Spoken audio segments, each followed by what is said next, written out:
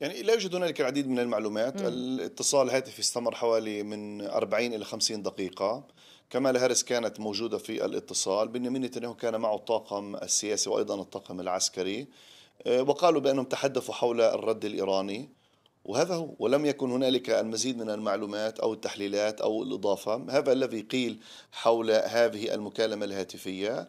رغم أن مكتب نتنياهو اليوم كان قد سرب معلومة بأن نتنياهو تحدث مع ترامب.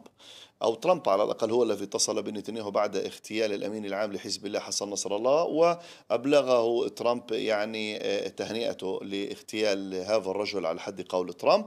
وهذا الخبر عموما الذي كان قبل أسبوع سرب اليوم بالتوازي مع مكالمة بايدن.